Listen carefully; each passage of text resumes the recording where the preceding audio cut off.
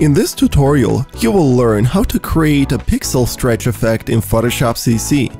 But before we start, take a moment to like the video and subscribe to our channel and make sure to press the bell button to be the first to know about our new videos.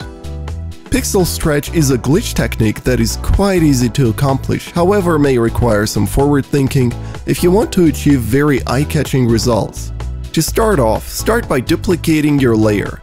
It's always good to have a backup layer you can revert back to. Now, select the single row marquee tool. You may have to click and hold down the mouse over the rectangular or elliptical marquee tool until it reveals a small menu. With the single row marquee tool selected, click on an area in your image that you think is interesting. Now, go to Edit and select Free Transform. Click on the edge that you desire to stretch and drag it in the direction you desire.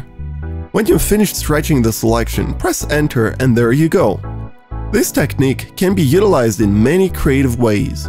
You can choose and pick a selection according to your creativity. What's your favorite glitch effect?